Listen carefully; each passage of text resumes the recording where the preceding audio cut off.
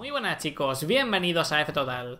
El deporte está en jaque con la situación que nos está tocando vivir y ya hemos hablado en estos últimos días de las escuderías que más en peligro estarían y que puede ser que decidan abandonar el Gran Circo a partir del año 2021 porque os recuerdo que este año se están firmando el nuevo Pacto de la Concordia, el acuerdo que une a los equipos con la Fórmula 1 hasta el año 2025.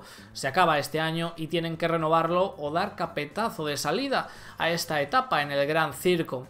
Las que más en duda están pues serían Renault, Haas, su continuidad ya estaba antes de que todo esto sucediera, pues esto podría ser la puntilla definitiva. Pero han hablado las dos y nos han dado mucha esperanza. Nos han dado mucha esperanza de que quieren seguir apostando por la Fórmula 1 y tienen un proyecto brillante de cara al futuro, sobre todo en el caso de Renault. En Haas hay alguna duda más, pero Genejas, el dueño de la escudería, les ha asegurado que el proyecto no corre peligro en un corto plazo. Habla Gunter Steiner, hay que cuantificar los daños económicos porque no sabemos todavía lo que vamos a poder hacer y lo que no este año. Estamos ante una situación que escapa a nuestro control. No tenemos ni idea cuándo se podrá retomar la actividad con seguridad. No sabemos cuántos grandes premios vamos a poder celebrar, cuánto vamos a ingresar, lo que se cobrará de la FOM o de los derechos televisivos. Pero si no se puede retomar la actividad este año, algunos equipos lo tendrán muy difícil para sobrevivir. Tengo que mantener el negocio en marcha, especialmente financieramente. Trabajo para esto porque sí, surgen las dudas sobre nuestra supervivencia, pero creo que los problemas siempre deben abordarse de manera positiva. Por un lado, un problema también crea nuevas oportunidades. Si todos trabajamos juntos con los 10 equipos, podemos salir de esta situación de una mejor manera para el deporte y todos nuestros empleados. Nadie sabe cuándo acabará esto, esperemos que para julio. Entre tanto, debo mantener el equipo operativo, sobre todo desde el punto de vista financiero. Y como es lógico, la cuestión de nuestra supervivencia siempre está encima de la mesa. Genejas nos ha asegurado que no piensa cerrar el equipo en un plazo breve. Esto nos comentaba Unter Steiner y en la última frase lo dejaba bastante claro, aunque el resto no tanto. Y es que Genejas no tiene pensado en un corto plazo cerrar el equipo.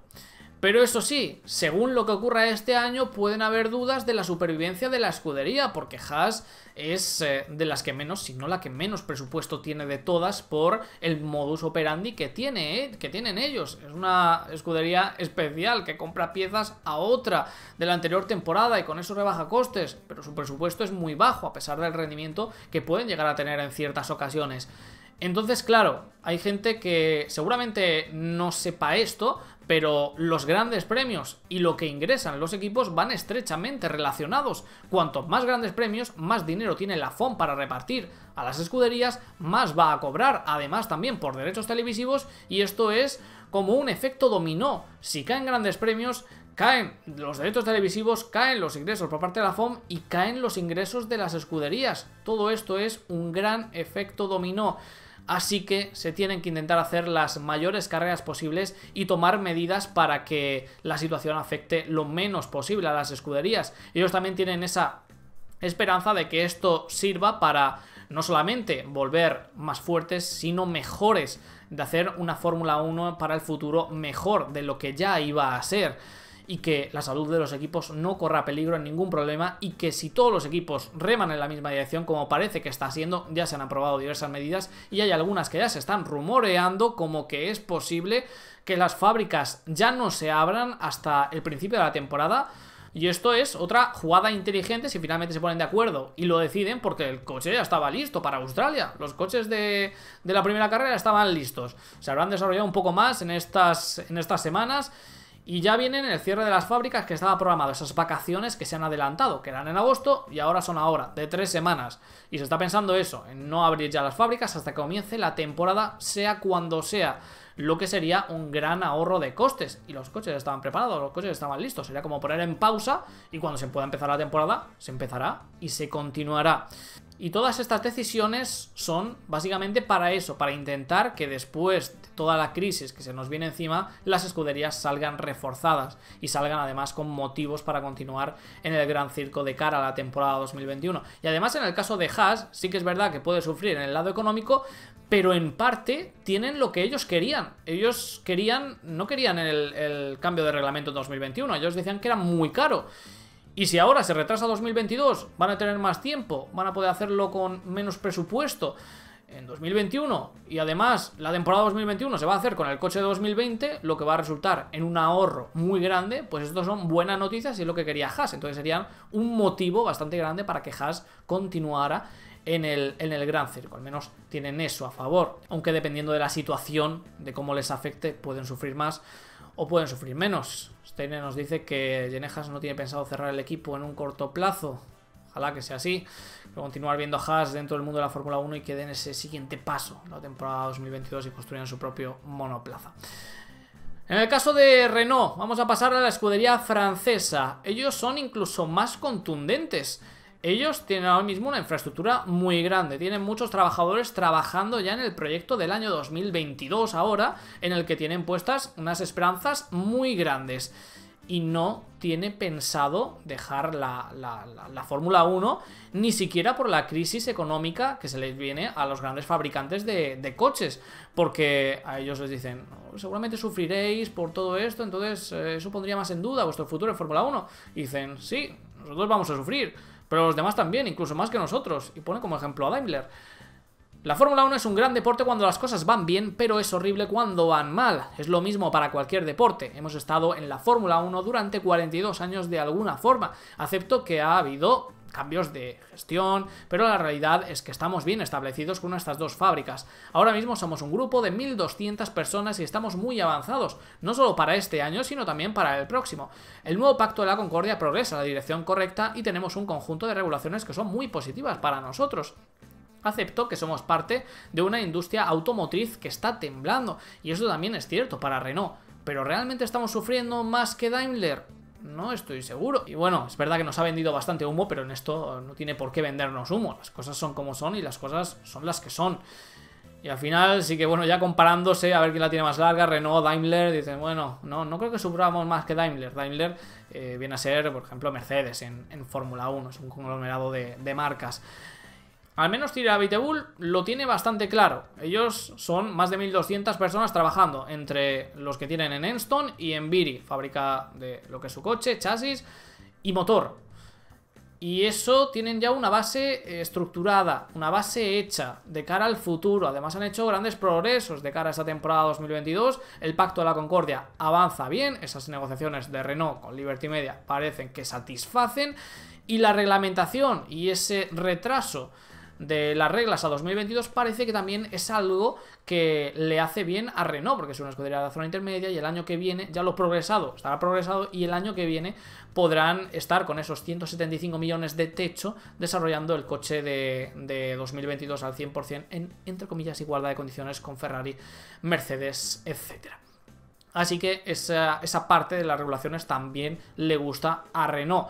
Y es verdad, y eso sería muy triste, me pondría muy triste el no ver a Renault en el mundo de la Fórmula 1, porque como afirma el propio Cyril Abiteboul, llevan más de 42 años en el Gran Circo de una u otra forma. Todos recordamos esos títulos que tiene con Fernando Alonso, 2005-2006, que tienen ahí en su, en su haber pero han ganado muchos más títulos, han ganado muchos más títulos con sus motores, sus motores siempre han estado ahí también y, si no estaba como escudería, estaba como motorista, pero Renault ha sido una parte vital, una parte importantísima en el presente, en el pasado y esperemos que también en el futuro de, la Fórmula 1. Y al menos parece con estas palabras que David Bull transmite tranquilidad y que Renault no abandonaría el Gran Circo y las cosas van bien para continuar también a partir del año, del año 2021. No, nos dan buenas noticias ambos en unas medidas que se están tomando para que precisamente convencer a estas dos, convencer a las demás que la Fórmula 1 es el mejor sitio donde estar, porque es verdad que vamos a sufrir una gran crisis, que las ventas, por ejemplo, de automóviles